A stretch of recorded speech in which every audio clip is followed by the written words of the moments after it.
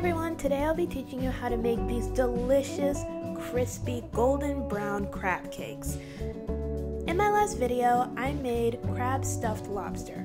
Well, I had some of the crab stuffing left, so I decided to use it to make crab cakes. The method I used to make these crab cakes is actually by Gordon Ramsay. I saw a video that he made on how he makes his crab cakes and I was like, oh snap, I have got to try that.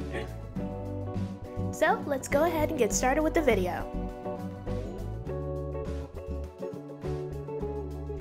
First I'm going to show you how to make the crab mixture from the previous video.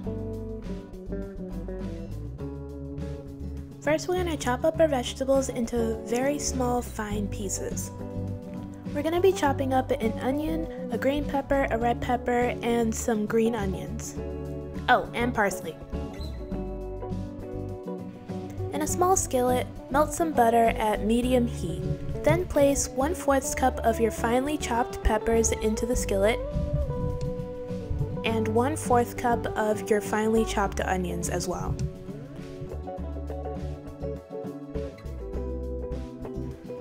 Saute your vegetables until they're translucent. Make sure to season your vegetables. I only season my vegetables with some salt and pepper. When you're finished, take your vegetables off of the heat to cool. In a medium-sized bowl, pour in 1 4th cup of breadcrumbs and 1 tablespoon of breadcrumbs. Then add your sauteed vegetables. Now add 1 4th cup of green onions and 1 tablespoon of parsley. Mix everything together until well combined. Then add 2 tablespoons of egg whites. After that, add 1 tablespoon and 2 teaspoons of mayonnaise, 2 and 1 half teaspoons of fresh lemon juice, 1 half teaspoon of Worcestershire sauce, and 1 and 1 half tablespoon of Dijon mustard. Mix everything together until well combined. Oh, and by the way, I didn't think about this until after I had made everything, but I should have added 1 half teaspoon of hot sauce. I am suggesting to you now, add 1 half teaspoon of hot sauce in your crab cakes. Now we're going to add our seasonings. So you're going to add 1 4th teaspoon of onion powder, 1 4th teaspoon of garlic powder, 1 4th teaspoon of Old Bay, 1 4th teaspoon of Creole seasoning, and 1 4th teaspoon of pepper. Then add 1 16 ounce can of lump crab meat. Now we're going to fold the crab meat into the mixture. Make sure you fold everything until well combined.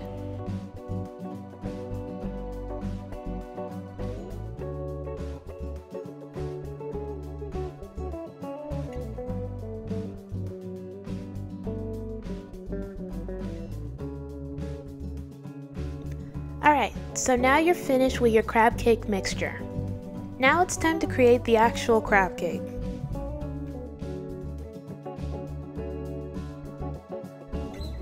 Fill a circular cookie cutter with the crab cake mixture we just made. We're using a cookie cutter so that our crab cakes have a perfect circular shape. Make sure you're gently pressing the mixture down so it creates the shape. I didn't fill it all the way in the cookie cutter just because I didn't want my crab cakes to be that tall, so I did leave a bit of room at the top just so I could get the height I wanted. When you finish filling the cookie cutter, gently press down and take the crab cake out of the cookie cutter. When you do, you should have a perfect circular crab cake. Use a spatula to set it to the side on a baking sheet. I love how circular and perfect these crab cakes look. I mean, they just look so nice. Alright, moving on. Place your crab cakes into the fridge so they can firm up and keep their shape. While your crab cakes are in the fridge, we're gonna do some prep work. We're gonna start by cracking and beating the eggs in the middle bowl.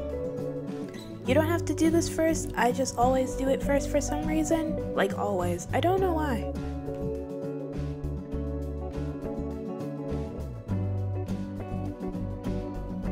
Pour flour in the first bowl. and panko breadcrumbs in the third bowl. He didn't do this in the video, but I seasoned my flour and my breadcrumbs. The seasonings I used were pepper, creole, garlic powder, onion powder, and Old Bay seasoning. But I only added pepper and creole in the panko. When you're finished, take your crab cakes out of the fridge. Lightly season your crab cake with some pepper and salt.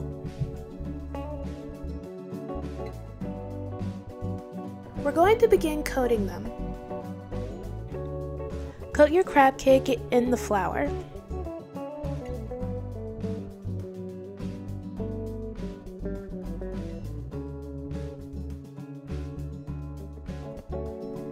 Shake off the excess flour and then place it in the eggs.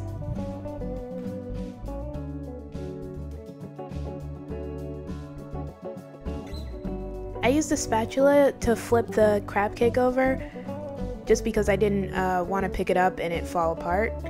Using a spoon, I covered the crab cake completely in the eggs. Then I picked up the crab cake with a spatula and placed it in the panko breadcrumbs.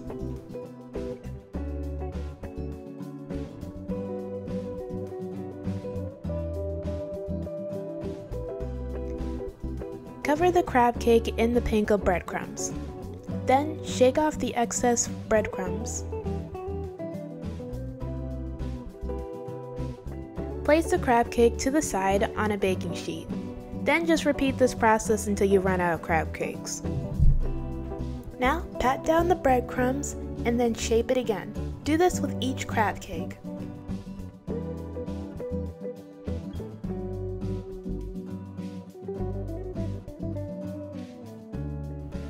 Place a little bit of oil in a pan at medium heat. Place your crab cakes into the pan. Cook the crab cakes until golden brown on both sides. I like my crab cakes a bit more well done, so you're really gonna see the golden brown color. Once you've colored both sides of the crab cakes, you're gonna add 3 tablespoons of butter into the pan. As the butter starts to froth, it colors the sides of the crab cake. Roll the pan around, then use the melted butter to baste your crab cakes.